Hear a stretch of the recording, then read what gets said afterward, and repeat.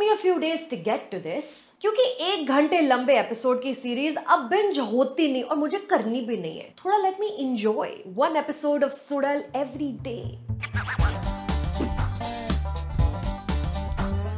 Hey all, my name is Sucharita. Welcome back to my channel. You're watching a series review today and we're talking about the Tamil language murder mystery series now on Amazon Prime Video, Sudal.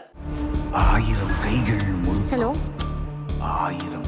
கைகள் முறு hello ஆயிரம் குடிகள் நிலா அங்க வந்தாளா செல்ல பொய்யை காக்க நிலா ஆயிரம் உண்மை புதைக்கும் आगे बढ़ने से पहले एक रिक्वेस्ट सब्सक्राइब कर लीजिए चैनल को बहुत धीरे धीरे हम आगे बढ़ रहे हैं let's get to that 50000 shall we right so why this review is a whole week late is because each episode of Sudal is 45 minutes ish pilot is an hour and now with life back to kind of normal regular movies activities things binging is not nearly as appealing or possible as it once was जब कुछ था नहीं करने के लिए if not one episode a week I would at least stick to watching one episode a day especially of a show which requires captive involvement subtitle reading detective work as you go along non-stop कैसे देखे उसको need to mull it over daily, na? Because after a point, your eyes kind of glaze over. Speaking of weekly drops, by the way, let's talk about Prime Video ka The Boys season 3 also, huh? Soon. So good, so good. So, Suzhal is your textbook formulaic small town murder mystery show set in a fictional Tamil Nadu town, Sambalur. The show fully delivers on the kind of world building a premise like this requires. Premise क्या है थोड़ा detail में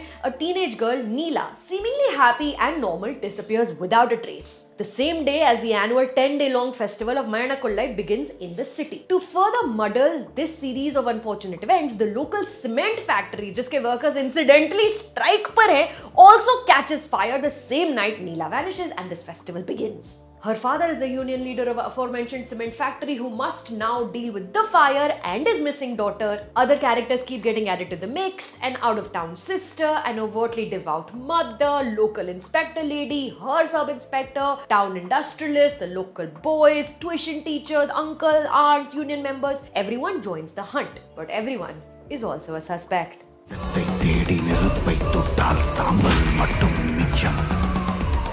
ஒரு பிடி இதயம் அடக்கும் ரகசியம்.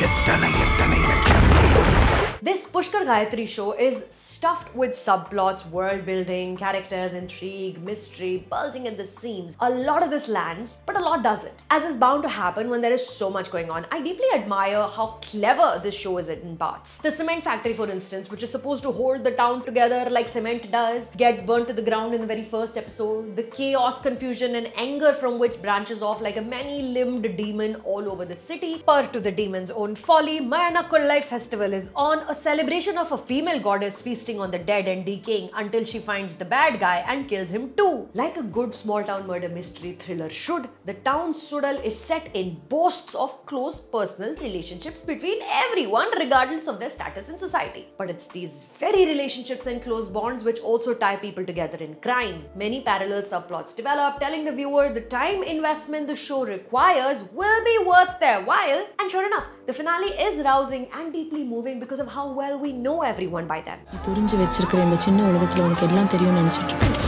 இங்க இருக்கிற மனுஷங்க அவ்வளவு சிம்பிளாவோ ஈஸியாவோ But I suspect not everyone will reach that climactic moment because of how weak some initial episodes unfortunately are. Writers and creators, wife husband duo Pushkar Gayatri, start you off with a bunch of small leads, scuttering off in multiple directions. But these leads take a long time to uh, reach a common place where everything is as clear as far as you can see. The most major plot moment doesn't even happen until episode 4, post which the tone of the series completely shifts and becomes more interesting, making you wonder why the first three episodes weren't all compressed into the pilot. For a lot of this runtime, the show is content with being in a unique setting, geographically, culturally, and isn't very bothered with veering the story towards being more engaging or new or more unsolvable mystery. Visuals for Mayana Kollai become overbearing and repetitive. You could take cuts from episode 4 and insert them into one, and only the most discerning and culturally knowledgeable folks will be able to tell the difference. Suzhal does put together a pretty stellar cast, though, which sees it through despite the lags in plot development. Kathir plays S.I. Chakravarti, a young lad who may or may not be corrupt, but is certainly not looking to change anything. He's happy with his upcoming nuptials, happy being second in command, until circumstances force him to take charge. I really particularly like this character because he doesn't suddenly turn into an Akshay Kumar type with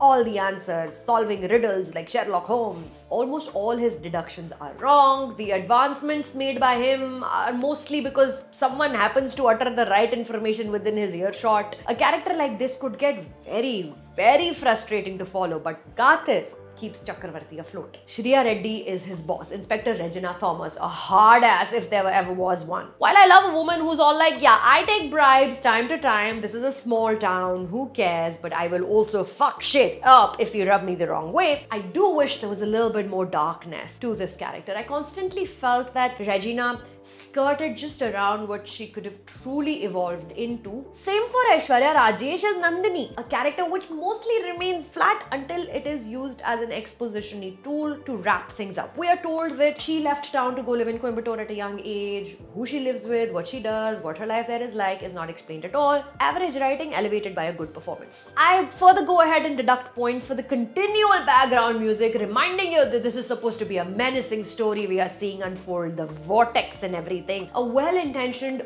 overkill to be honest. Just leave the main riff here and there. Now bus, the main riff is really cool. There is a ton though to find and admire in Suzhal. The importance of worker unions, especially in small town India, how imperative it is to separate religion and state, how easy it is to sexually assault women and sweep the whole thing under the rug, macabre, ritualistic sacrifices, excellent cinematography for you. All of this and more come together for a finale so good you do not want it to end. If you're into this kind of stuff, this show is now streaming on Amazon Prime Video. So on a scale of 1 to 10, Suzhal is 10 days of the festival compressed into 8 episodes. I'm glad they didn't do 10 episodes, otherwise the plot twist would have come even later and I might have actually abandoned the show. Speaking of small town mysteries sparked by a missing child, how excited are you for Stranger Things Season 4 Volume 2?